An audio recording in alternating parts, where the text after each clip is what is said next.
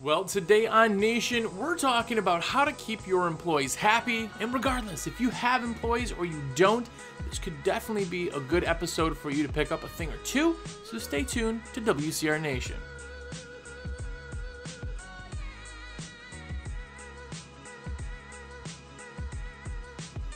What's up, everybody? Jersey here from WCR WindowCleaner.com, window cleaning resource, and you're here. What's up? This is the podcast made for window cleaning companies and any other service business. Uh, we focus on only the business side of things. I'm never going to show you how to squeegee, just not my thing. There's lots of channels you can watch to do that. This just isn't one of them. So thank you for coming and hanging out with us. Uh, if you are new here, have a look around. We have 120, almost 130 episodes of this. It's weekly. It's been going on for years. Go listen. Go follow. Watch it on YouTube. Listen to it on any podcast platform. And most importantly, comment, thumbs up, review, and uh, doubly important, get your supplies from me. That's right. I am a ref for window cleaning resource. Anything pressure washing and window cleaning related, you can order through me. Costs you nothing extra, but it gives me a little ching, and uh, that's how I make my money. So if you would like to let me eat, I don't necessarily need to eat for a while, but if you want, you certainly can. Uh, give me a call. My number is 862 312 2026. That's my cell phone. Keep it, save it. Jersey's my name. I am your rep and want to be your rep. I want to be all of your reps. I want to put all of your orders in forever. So please do let me uh, do that. Big or small, that does not matter. Um, and secondly, if you want to leave a review, if you've ever had service with me and you loved it or liked it or it just tolerated it, it was halfway decent, go to windowcleaner.com forward slash review. Click on the Google review and uh, leave a review with my name in it. And I also get credit for that. Look at all those ways. All those virtual high fives and hugs and like bro bashes and everything else. No, go and do that.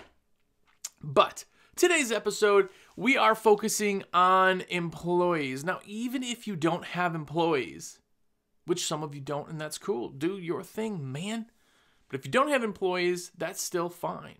You may be able to pick up a thing or two from this just in case the employee thing ever does come on. Just human relations in general makes um, kind of HR stuff is valuable regardless. And I know it sometimes can be boring, but you're here listening and learning, and you're getting yourself better than the next guy beside you who's not. So, first off, I give you a, a super high five for that. But with employees, there's a few things to remember. The hardest, hardest thing to get over when you first start having employees is that employees aren't you. They're not your spouse. They're not your kids. They're not anybody who gives two dumps about your company to any close, anyway close to the degree you do. Now, your company is your baby. We've talked about that, right? When they first start off, it needs all of your attention. You just got to do everything, feed it, or it will die. If you don't, lots of sleepless nights, lots of, uh, you know, spit up on your shirt when things aren't going quite right, right? Uh, and then eventually it gets a little bit easier, becomes a toddler, which you still got to keep your eye on it, but it kind of does its own thing. If you don't keep your eye on it, it pulls a VCR or DVD player off a shelf. And then all of a sudden it gets to be a uh, mature teen that's just running itself, and it doesn't even really necessarily need your help because it's just going. You can do other things and focus on different aspects of the company. And then eventually, if you do decide to sell it, it's just like your kid getting married. All of a sudden, they are with somebody else, but everything that you did to create it is still there, right?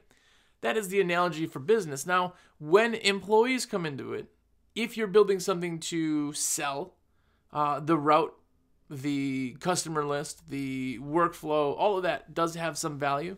But if you have employees and you build a company, the company then can be sold as a company, which is super valuable. That's what I did. Uh, I sold my company. Uh, now it has been all of uh, two months since it's been complete. Um, and that's exactly it. Like it's there, it does its thing, it was created, and somebody else now is loving it. So that's kind of the thing. And employees are a very big part of that. Now, if you just want to do this on your own, you're making more money than I am with employees. That's just the fact uh, per hour. When you earn a dollar, you keep a dollar. Um, but you can't really grow or scale if it's just you. So employees are one of those things that if you ever contemplate and think about it, this year, when I'm recording this, it is November of 2019. Going into the slow season in the winter, it may be something to definitely think about what you want to do, adding employees uh, or not. But either way, keeping an employee who does not care about your company the way that you do happy is very hard. And I always get people kind of yell at me. And by the way, anything I say on this, I'm just some dude. I don't know anything more than you. Uh, I'm just some dude with a mic, right? But if you ever hear anything that you don't agree with, or you do agree with, comment. Go to YouTube, watch the video. Don't watch the video, just go to YouTube where the video is and comment. That's where our conversation happens. I love to see comments from you guys. Uh, boost those comments up. But um, the big thing with employees and keeping them happy is when I say they don't care about your business, it's kind of true, like 100% true, where the real phrase is they don't care about your business like you do, but just that they don't care. Everybody cares about their job, right? Remember your nine to five that you had? You care if you have a job, you care that you have a paycheck. But if the place burns down, you don't care. It's the same reason that when you do have employees and they lose something, they go, I don't know. Or something breaks, they go, oh, it was like that. No, it wasn't. was not shattered when you got it. We would have noticed that. No, I was like that. I don't know what happened. It's because they really don't care and they really don't understand. So it's not really their fault. They don't have to care and they're not paid enough to care. So there's other ways you have to make them care about their environment.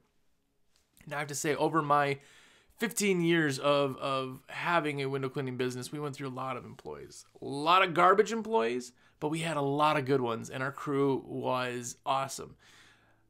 The thing with employees, and we're not going to talk about hiring, but it's like a big net. You got to catch 10 of them before you find one good one. And then you elevate the ones that are good, the bad ones you let go, uh, or they let themselves go and just stop showing up. Um, and eventually you're left with the cream of the crop. But I can't pay my employees $50 an hour, which I wish I could because some of them are worth it and to me they're that valuable. But it just doesn't make much sense, right? So you have to do other things that are above and beyond just the money. Because here's the thing people who make $50 an hour, if they make that for over a year, eh, it's cool that they make it. They're happy they make it. But it's not new and exciting. It's not something different. So there's a lot of other ways to keep your employees happy. And here's kind of a list of a few of them. And first and foremost, for your employees, to keep them happy, just to keep them wanting to stay there is going to be comfort. Comfort in your employees is huge, especially in what we do. A lot of people, a lot of people, if you're hiring, you know this 100%. I'll give a thumbs up on the video if you uh, know exactly what I'm talking about. But a lot of people in the interview process so, why do you want to be a window cleaner? Great question, open ended. Let's see where it goes. Oh, well, I just always wanted to work outside, outdoors. Oh, man, I'd love to work outdoors, you know? So you took in your brain the nicest day, a nice spring day. You put it in your brain, and that's what you think this is. Well, if you ever worked outside, you know that there is rain and snow and bugs and thorns and bushes and spiders and bees and wasps and dog poop. And there's so many other things that you don't run into when you work in an office. When you work somewhere that a little little thing on the wall says what the temperature is, that's not the case. So comfort's huge. Now there is comfort as far as um, what they have on and different seasons of when they work. So right now, going into winter, comfort. A few of the things are uh, gloves. Gloves are huge. Now a lot. This time of year we sell just tons, hundreds and hundreds of gloves a week. Um, and the big thing that people ask is is okay, is that something I provide? Is that something they provide? Is it is it even necessary? Can you even work? Here's the thing. If an employee is uh, comfortable, they're going to work better. They're going to work happier. They're going to work harder. They're going to do more. Because if they're stopping every 10 minutes to go warm up their hands that are cracked and just hurting, they're not getting much done for you anyway and they hate life. Ah, man, I'm not doing this crap anymore. Right? So keeping them happy buy him some gloves. What's a pair? My favorite gloves that we sell are like 50 bucks. Okay, $50 a pair. That sounds like something, but they could have those for a whole season. What if you got 50 bucks a pair and you now they wear those for 5 months of the year? That's 10 bucks a month, man. That's not who 10 bucks a month? You're getting more work than that. Gloves are super super important. Now, cheaping out on gloves is just as bad as not getting any gloves, and it's showing them that everybody's been at the job. Where, oh, here you go, here's your thing, whatever it is, fill in the blank, and it's the most cheap piece of crap, and you're like, why would they even buy this for me? Like, they don't care, right? So, care. Get them some good stuff. And a couple other things that people don't really realize in the comfort side is this. This is a thermal. This is just a whatever they call it, Hanny or Henny or. It doesn't matter. I'm not into fashion, man. But uh, getting them thermal stuff, getting them Carhartts that are logoed and embroidered, getting them winter hats that are logoed and embroidered, getting them gloves. You don't have to really do that, but everything else that you're getting for them, uh, even boots. We've done boots before. Um, if you want everybody to look the same, buy them all the same stuff. It's up to you on what you want to buy, but keeping them comfortable and keeping them having the equipment that will keep them working is going to keep them happy, not just give you more productivity. So don't skimp on that side of it. Yes, your winter hat more than likely will have to buy another one next year, but sometimes you don't. Sometimes people are, ah, lost it. Yeah, of course you did, because you didn't buy it. You don't care. What does a beanie cost? Uh, embroidered beanies like 15 bucks. That's super cheap. 15 bucks, you got, now they're wearing your logo on their head and they're staying warm, keeping them happy. So comfort's a big one. In the summertime, same thing where uh, we've done uh, Duluth uh, Trading Company pants and we've done Columbia pants, uh, shorts, I'm sorry. Uh, because we wanted kind of like it to look the same, and these guys were buying these weird kind of khakis. Like ours was khakis and a blue shirt. So you can do, you can order specific uh, shorts so they all look right. You can get them shoes or hiking boots. You can get them uh, brimmed hats. You can get them logoed sunglasses. You can get them anything that they need to stay comfortable in the summer. And that may include getting them light shirts. Now, we had polos. Actually, WCR has them. They're like super ultra light polos. Super comfortable, but they're pricey. They're like 30 bucks a pop. But this is keeping people comfortable. If I feel like a million bucks, I'm going to act like I'm a million bucks, right? So keep them comfortable. Think of what temperatures it is pre plan. Hey, it's going to get cold. It's going to be so cold that we can't clean at certain times. We got to keep up with that, right?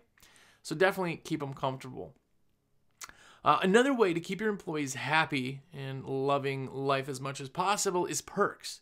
Now, just general perks is kind of a large category, but remember we talked about if you can only pay somebody 20 bucks an hour, which I'm, by the way, pay them as much as you possibly can, right? While still getting a profit still paying yourself, of course. But there's other things that make the job worth it. Now, if they're making eight bucks an hour, uh, if you buy them some food, that doesn't really, they still making eight bucks an hour, right? But perks include meals. Meals are big. If we're working on a project all day, I will go buy them lunch and bring it to them. Why? Because I control when they go on lunch. I know the meal that they're eating so that they're actually getting some food. I know their drinks. I know they're all that stuff. I can get them what they need, right? When I bring it to them, that means that's when they do lunch, not when they decide, right? It's also appreciative. If your boss brings you lunch on a job site, those little things like that go, that goes, that's huge. Oh man, dude, it's awesome. They didn't pay for it. It cost you all of 20 bucks, right?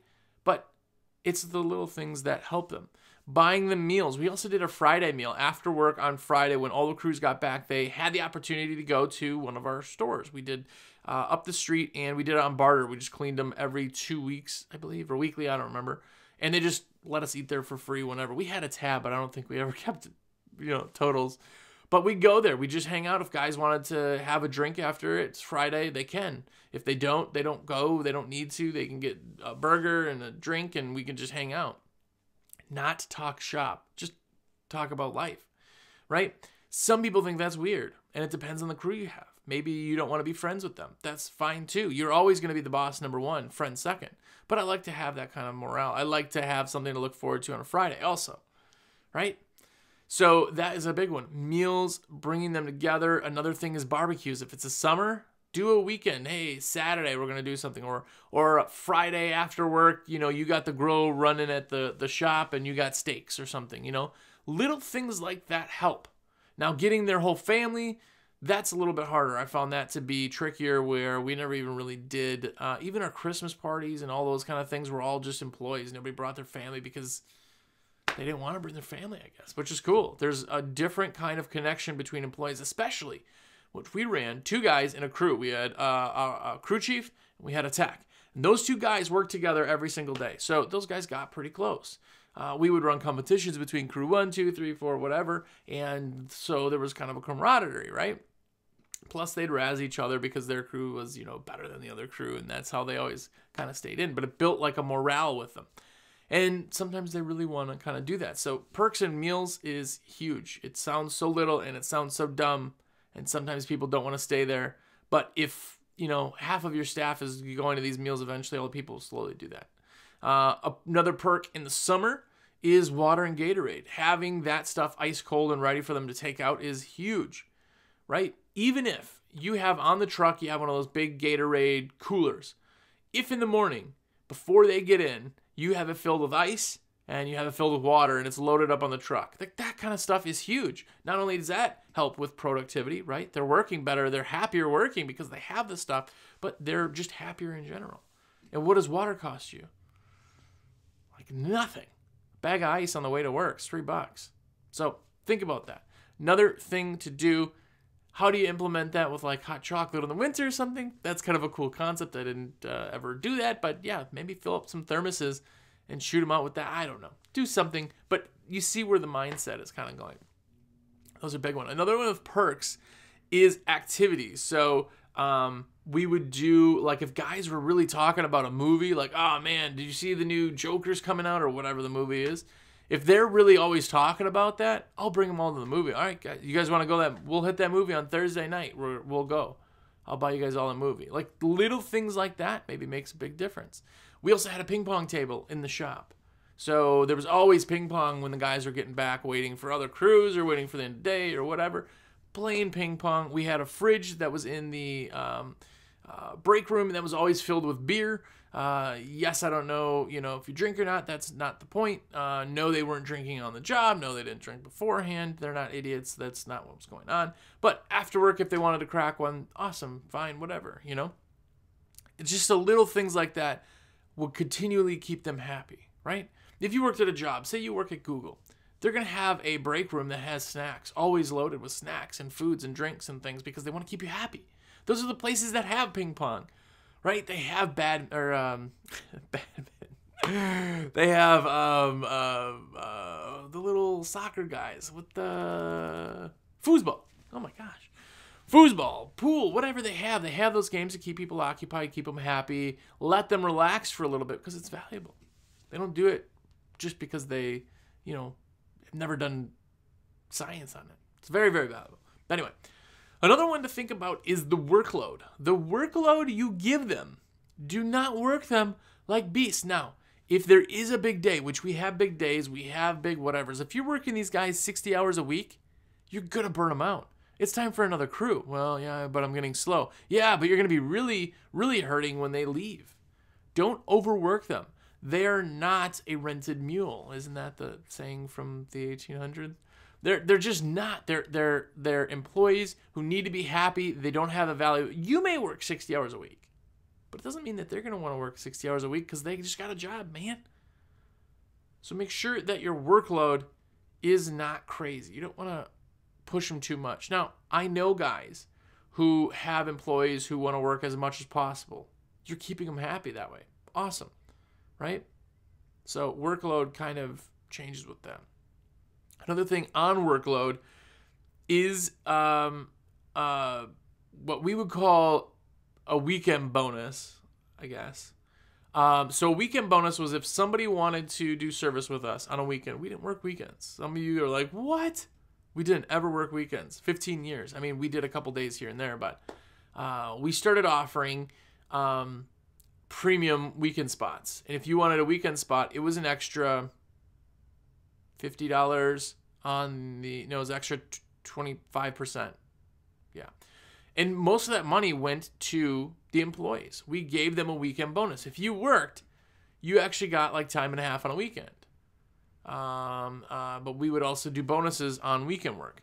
So if you work your 40 hours and you work a weekend, you're going to get time and a half. So doing a bonus on top of that is huge for them if they want to do weekends. Now, sometimes people just be like, I just don't want to work weekends. Cool. Who does? If anybody does, we'll work you on the weekend. If nobody wants weekends, we don't offer weekend work. Because I'm not going to kill those employees. I'm not going to break them down until they're not valuable to me anymore or they hate life and they leave, right? So think about that for sure. And speaking of bonuses, bonuses is one of them. Bonuses are huge. Again, you can only pay them so much money per hour. But whatever you do pay them when the time is good, when things have been crazy, maybe you give them a bonus. Now, we did two times a year bonuses. We did one in uh, the end of the year, which we considered our Christmas bonus. And then we did one in um, around 4th of July, which was our summer bonus, which uh, the summer bonus comes out of spring. We have a killer spring. Holy cow. We killed it. Boom. Everybody gets an extra G. Just here's some money. Uh, Christmas bonus. Everybody likes that during the holidays. It doesn't matter if you uh, are uh, whatever religion you are, but that time of year when when when families are you know uh, hanging out a lot more, it's always nice to get money. So having a bonus, bonus in winter or Christmas bonus comes from a killer fall, right? So you have bonuses when you get the big surplus of money, but yet you don't have to pay them more money per hour all the time. Bonuses are nice because you can adjust them. If you had a crappy fall or you had an issue or you know you broke a bunch of glass or something and now you don't have as much profits, you can totally change that any way you want. So it really gives you kind of more flexibility, but also really, really appreciated by the guys. It's always nice when you surprise them too. Like don't tell them it's coming, just be like, hey, here's uh here's your bonus. Now, um, check legal liabilities and paying, you know, uh, you still have to take taxes out and all that, depending on how you have your employees done, but but that's always really uh, a big one. Uh, bonuses. Just think about bonuses uh, and try to give as much as possible in that. Um, another way to make them feel awesome is specialized gear. Now, this kind of piggybacks, of course, on comfort, but I'm not talking about wearables. I'm talking about usables. Like, there are guys out there who are like, man, I really want that silencer belt that's out there. I saw somebody talking about it, so cool. Okay, it's $200. The bucket you're wearing is $35. I'm not buying you that, right? But if, say you give it as a gift, say you give it as a whatever, I'm going to give you that because that's what you want. How about somebody who really, really wants the trad pole? We do a lot of that where guys will call and they'll say, um, My guys really want this trad and I'm thinking about getting them as gifts, right? How cool is that? You could put a little label on there, and all of a sudden that is your pole. Now it's still the company's property, of course, but if I give Johnny a $200 extent uh, pole, he will guard it with his life because it's his, right? Dude, I bought this silencer. I know you wanted it. This is yours, man. Nobody else is using it. It's yours. That's huge. Those are little gifts that make them feel appreciated with still getting equipment that they're using for you. They're making you money. Employees are more valuable than anything else we have in business. Maybe maybe marketing.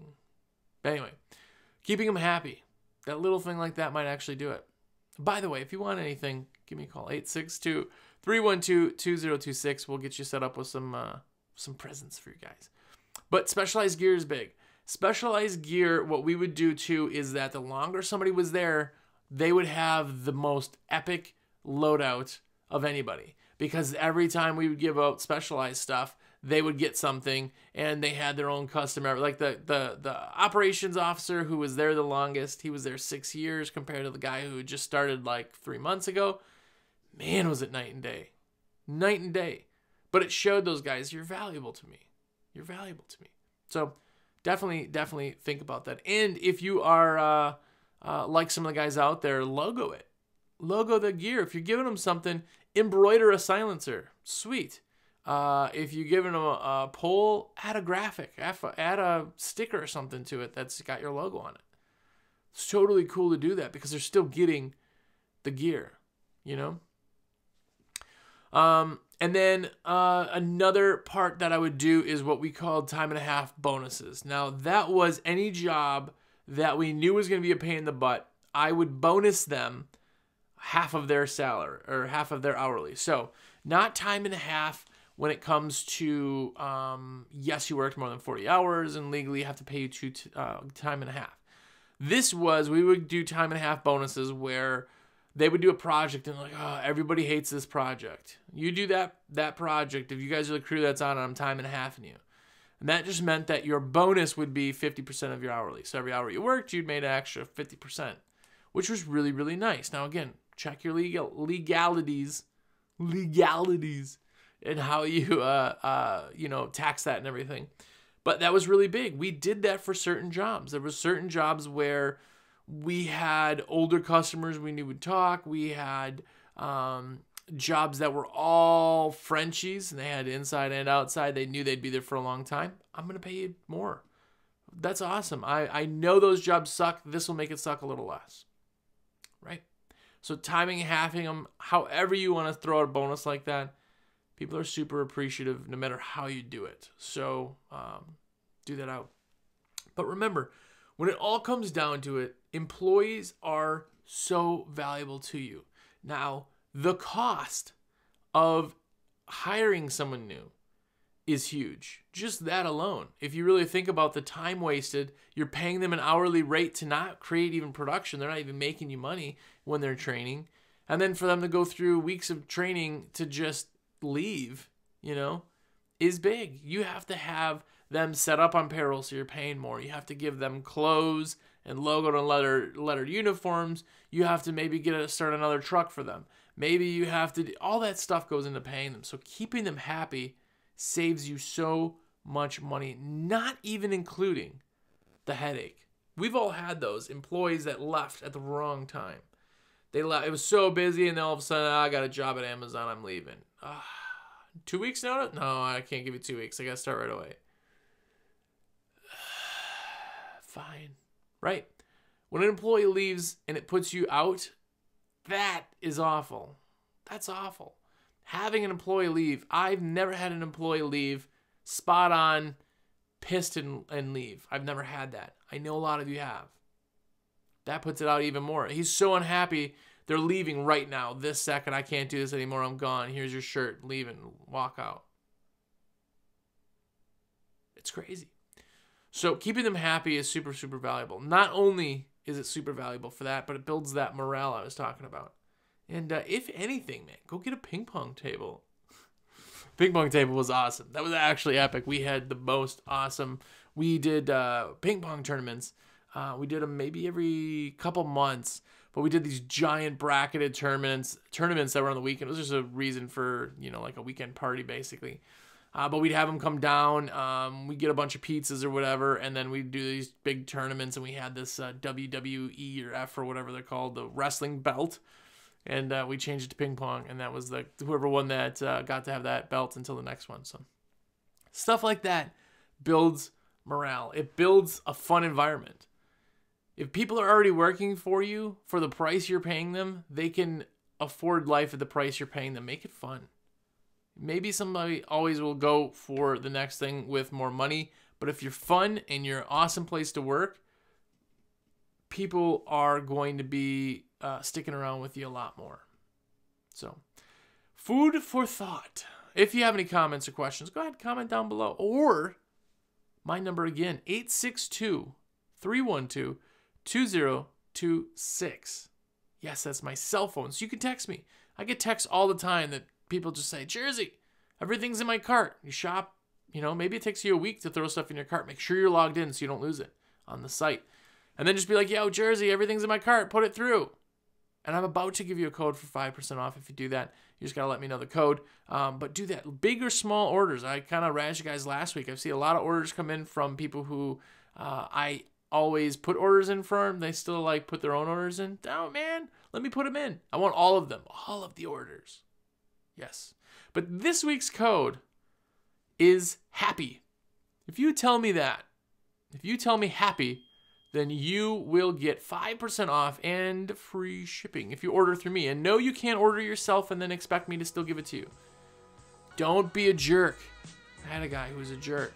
He was just like, you lied. No, I said you had to order through me. I put an order in. Okay, well, I'm not going to do anything now. You already paid your money.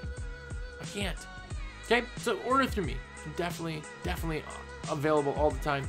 Uh, 862-312-2026. If you text me during the weekend, just uh, hang out and bear with me. My wife would kill me if I te- respond to all my texts. Sometimes it comes on Monday morning, but still, we ship Monday through Friday, so... Thank you guys for being absolutely epic. And until next week, go out there and make your employees happy, but more importantly, be epic.